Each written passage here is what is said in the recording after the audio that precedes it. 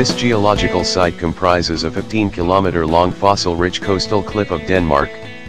Stevns Klint is a globally exceptional testimony, to the impact of meteorite impact on the history of life on Earth.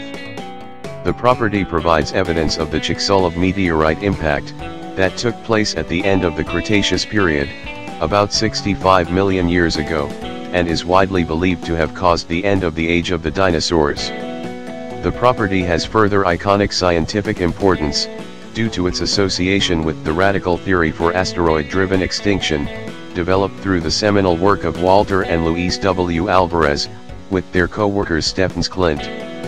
It is highly significant in terms of its past, present and future contribution to science, and makes these values accessible to the wider global community as a whole.